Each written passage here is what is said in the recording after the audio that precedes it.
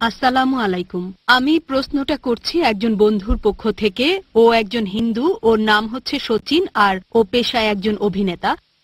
ওর প্রশ্নটা হলো এই যে, মুসলিম মহিলাদের কবরস্থানে যাওয়ার অনুমতি নেই কেন? আর যদি মহিলাদের কবরস্থানে যাওয়ার অনুমতি নাই থাকে, তার মধ্যে কি দরগাও পড়বে? বোন, আপনি প্রশ্ন করলেন যে, মুসলিম মহিলাদের কবরস্থানে যাওয়ার অনুমতি নেই কেন? এ সম্পর্কে হাদিস আছে সহি বুখারিতে সেখানে নবী বলেছেন, তিনি মহিলাদের কবরস্থানে যেতে বাধা দিয়েছেন। কারণ, হতে পারে অনেক, যেমন, হয়তো তারা বেশি আবেগপ্রবণ, তারা হয়তো মানুষের মৃত্যুটা সহজভাবে মেনে নিতে পারবে না। এটা একটা কারণ। এছাড়াও আরও বেশ কিছু জায়গায় আমাদের নবী বলেছেন, এই মহিলারা অনুমতি পাবে না তাদের কাজের কারণে। তার মানে কবরস্থানে যেতে বাধা দিয়েছেন তাদের কাজের জন্য।